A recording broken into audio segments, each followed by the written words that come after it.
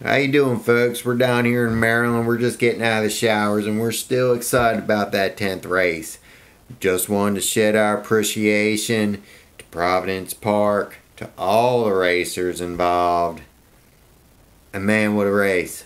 What a race. She came out strong. She came out strong. I didn't train that. I didn't train that. I didn't think I didn't think she was going to hold that lead. Thought she was going to slick them tracks. So did you, Christopher.